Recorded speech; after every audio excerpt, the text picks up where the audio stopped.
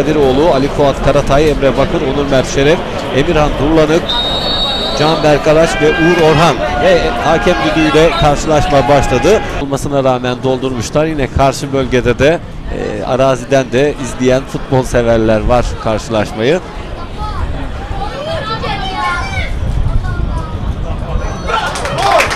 Ve gol geldi.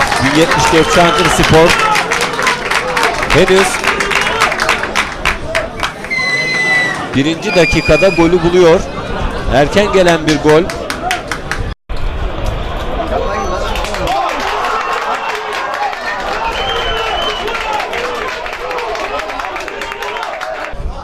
Ceza sahası hareketli. Orta geldi kaleye. Alpaslan yine tehlikeyi uzaklaştırdı. Köşe vuruşu geldi. Kaleci boşa çıktı. Gelişine bir şut. Yine Alpaslan'dan döndü. Gol pozisyonu ve gol. İtirazlar var. 174 Çankırı Spor'da. Bakalım sonuç ne olacak? Golün tekrarında izleyeceğiz. Karşılaşmanın yan hakemi Çiğdem Baran'a kaleci Alpaslan'ın ve Yunus Şencay'ın hala yan hakemde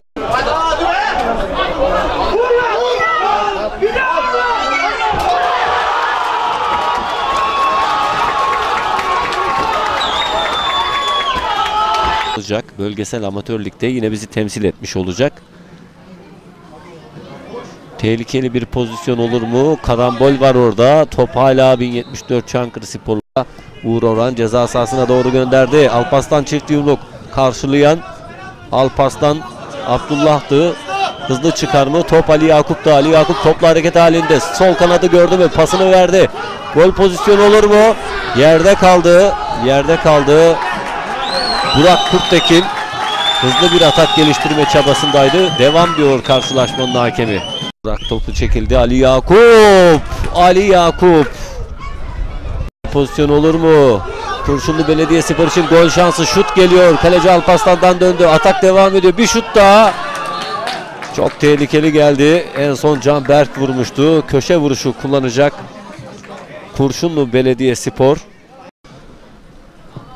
Cihan'dan bir orta daha yine Kurşunlu Belediyespor defansı kafasından çıkartmıştı. Şut pozisyonu top direkten dönüyor. Atak devam ediyor mu? Offside bayrağı da havada.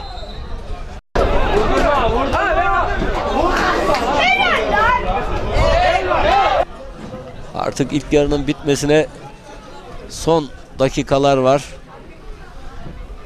Tabi dördüncü hakem ne kadar sürekleyecek onu da gösterecek.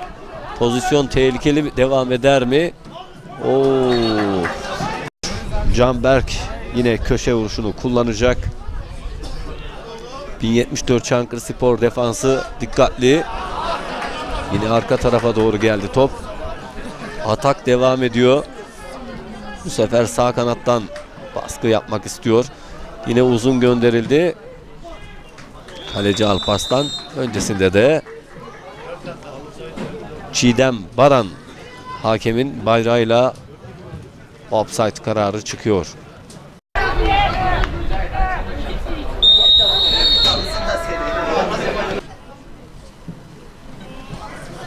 Uzun gönderildi. Murat Bahadır kafaya yükseldi. Salim kalesini terk etti. Top kaleye doğru mu gider?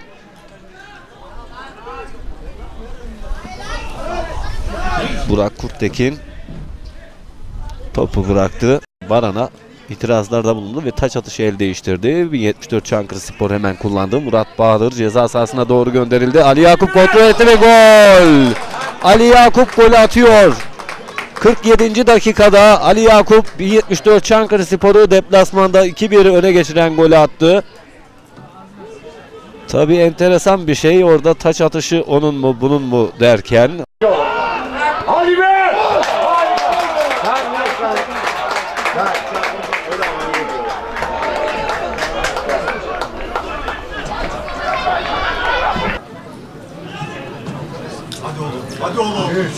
Evet ceza sahasına doğru giriyor 1074 Çankırı Sporlu futbolcu geriye çıkarttı bir şut daha kaleci Salim son anda çeliyor topu yine Ali Yakup vurdu Salim uzandı ve topu kornere attı Murat Bahadır oyun alanında tuttu topu. Bir hareketle sıyrıldı rakibinden. Sol kanattan gitmek istiyor. Bir kişi daha geçti. Murat Bahadır ceza sahasına doğru da gönderdi.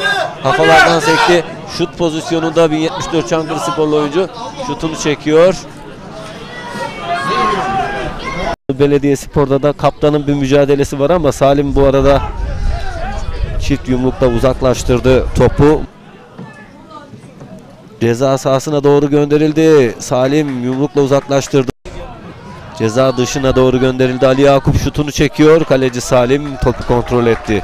Belediye Spor kalabalık gittiler bu sefer. Orta geldi. Kaleci Alpaslan elinden kaçırdı. Burak göğsüyle kontrol etti. Mücadele devam ediyor şut. Top yanağlarda. Pasını Abdullah'a çıkarttı. Abdullah, Abdullah. Aradan verdi Ali Yakup gol pozisyonunda ama öncesinde karşılaşmanın yardımcı hakemi Çiğdem Baran offside bayrağını kaldırmıştı. 1074 Çankırı Spor defansı yine uzaklaştırdı tehlikeyi. Kaleci Salim kalesini terk etti. Tehlikeli bir pozisyon olabilir. Ali Yakup sıyrılmak istiyor. Defans geldi. Kale boş. Kaleye doğru gönderildi. Gol mü? Gol. Uzatma dakikalarında 3. golü buluyor 1074 Çankırı Spor. Ve karşılaşma sona erdi diyor. Mahir Emre Herder 90 dakika tamamlandı diyor. Kurşunlu ilçe stadyumunda!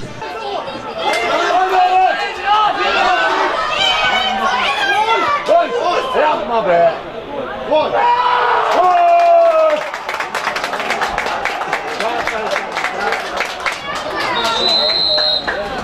Gol!